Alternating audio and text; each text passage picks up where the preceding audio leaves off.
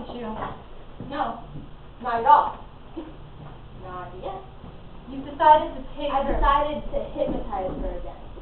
Hasn't she had enough? And I'd like to ask you a couple of questions I wasn't able to ask you before. I'm all ears. Because you were so cleverly steering away from them. My God, that you're vindictive. And you're hiding the truth. An ass. Did Agnes ever say anything to you about not feeling well while she was carrying the child?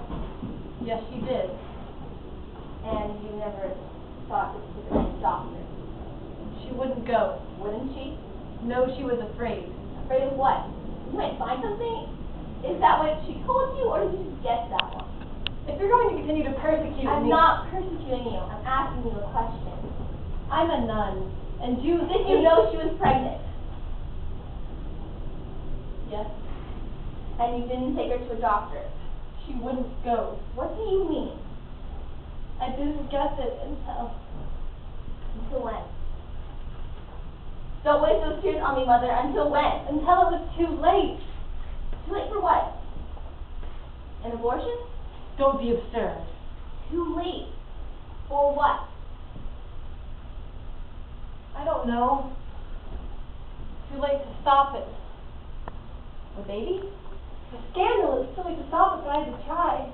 I made her promise not to tell anyone. I had to keep it quiet. I had to have time to think. And you didn't get it, did you? No. That night when she was ill, I knew. Time had run out. Yes, So you went into her room to help her with the birth. she didn't want help. But you wanted the baby out of the way as quickly as possible. That's a lie. You hid the waste paper basket in the room. I put it there for the blood and the dirty sheet. And the baby, no! you tied the cord around its neck. I simply wanted her to have it when no one was around. I would have taken the baby to a hospital and left it with them, but there was so much blood, I can't. Before or after you killed the child. I left it with her. I went for help. I doubt that's what she'll say. She's a goddamn liar.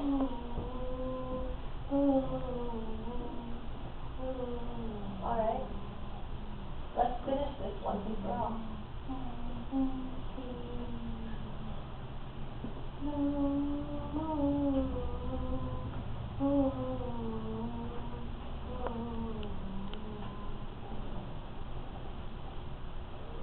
Agnes. Hello. I'd like to ask you a couple of questions. Is that alright? Yes. And I'd like to hypnotize you again. Is that alright too? Yes. Good. Sit down.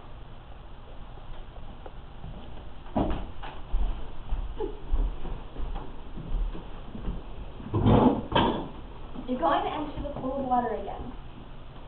Only this time, I that there are holes all over your body. And the warm water is flowing into these holes. It's so warm, so clean, like prayer. The water is flowing behind your eyes, and your eyes are getting so heavy and so sleepy. Close your eyes. When I count to three, you'll wake up. Agnes, can you hear me? Yes. Who am I? Dr. Livingstone. Good. And who's with me? Mother Miriam Ruth. Now, Agnes, I'd like to ask you to remember, if you can, one night about a year ago, when a sister here at the convent died. Sister Paul. The night when Sister Paul died. Yes? What's the matter? I like Sister Paul. Agnes, what happened that night? She sent me to bed early. Who did? Mother. And did you go? Yes. I'd like you to imagine that you're in your room. What happened? I woke up. What time is it? I don't know. It's so dark. Do you see anything? Not at first. But what? Someone's in the room. Are you frightened? Yes. What do you do? Agnes, what do you do? Who is it? Who's there? Is it you? But I am afraid. Yes. Yes, I do. Why me? Wait, I want to see you. What do you see? What do you see? A flower, waxy and white. Drop of blood sinking into the petal, flowing through the veins. Tiny halos, millions of halos, dividing and dividing. Feathers of stars, falling and falling into the iris of God's eyes. Oh my God, He sees me. Oh my God, so lovely. Blue, yellow, green leaves, and brown, blood. No, his blood. Oh my God! Anthony! Anthony! Oh my God!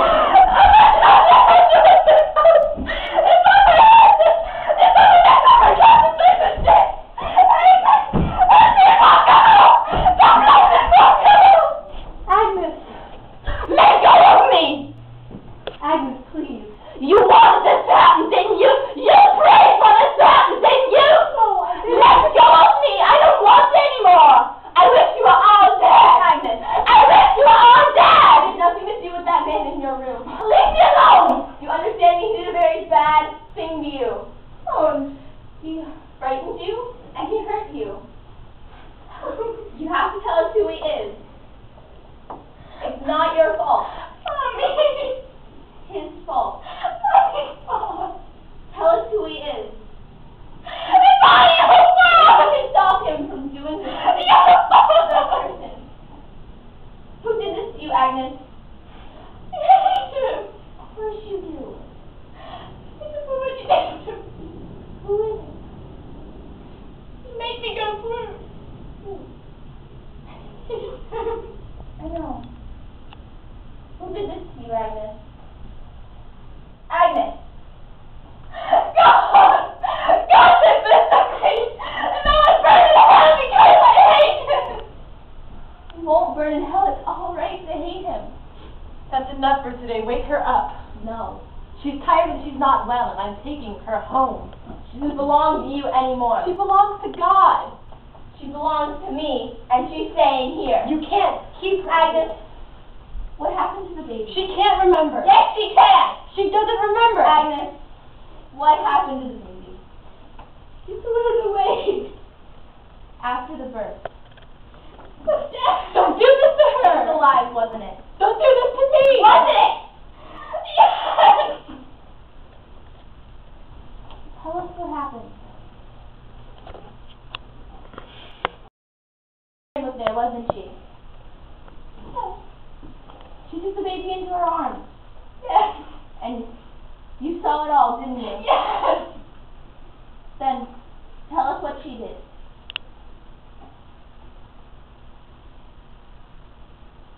She left me alone with that little thing. I looked at it and thought, this is a mistake. But it's my mistake, not mommy's.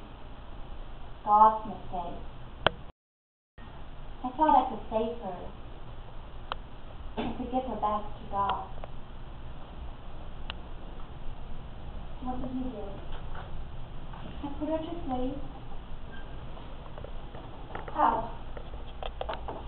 I tied the cord around her neck, wrapped her in the bloody sheets, and stuffed her in the trash can. No.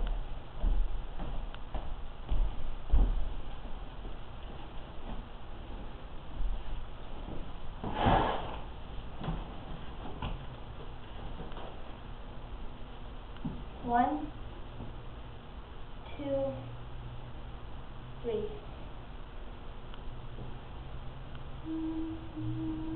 Mother, mother, please. You were right. She remembered. And all this time I thought she was some unconscious innocent. Thank you, Dr. Livingstone. We need people like yourself to destroy all those lies that ignorant folk like myself pretend to believe. Mother, I'll never forgive you for what you've taken away. You should have died. Not your sister. You. why are you crying? But I believe, I do. Oh no! Oh my God, that sweet lady! Please don't you leave me too? I'll be gone. I won't be a bad baby anymore. Stop holding me, mommy. Your hands are hot. Don't touch me like that. Mommy, please. Don't burn me. Don't burn me.